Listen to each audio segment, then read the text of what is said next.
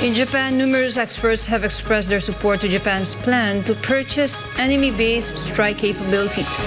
However, they still face some challenges. Kent Hashimoto tells us more from Tokyo. Kent? Yes, Ruth, the Japanese government actually invited experts from both the public and private sectors in a series of closed doors hearings to discuss the issue.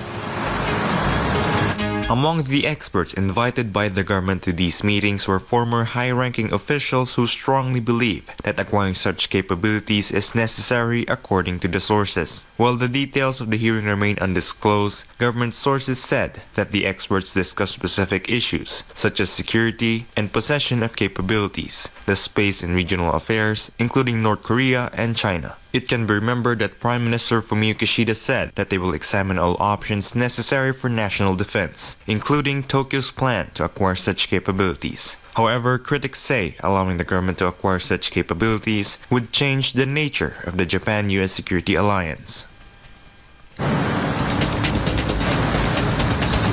Ruth, the participants in the said hearing included Shotaro Yachi, former head of Japan's National Security Secretariat, former Defense Minister Satoshi Morimoto, and former National uh, Security Advisor Shigeru Kitamura, and Ryoichi Oriki, who is the former chief of the Joint Staff.